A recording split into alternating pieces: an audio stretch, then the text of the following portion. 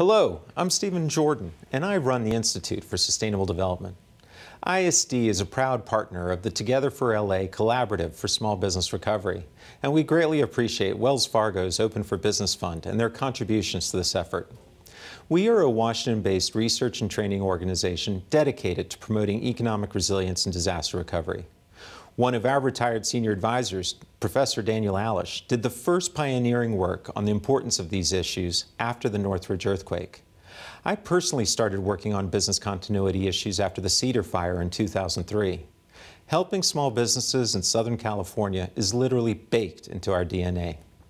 Here in Washington, over the past year, Congress has approved over $6 trillion in funding in response to the COVID pandemic.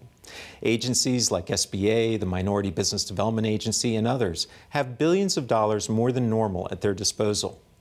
We are also monitoring national, private, and philanthropic opportunities and what other communities around the U.S. are doing to support their small businesses.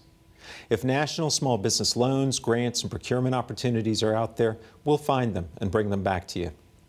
Our research goes both ways. Los Angeles is the small business capital of the United States, and your ingenuity and creativity is second to none. We want to hear about your challenges and successes and how you have overcome the many problems COVID has thrown in the way. We want to tell your story. If you are interested in learning more about ISD and the resources we have to offer, please visit our website. We look forward to working with you.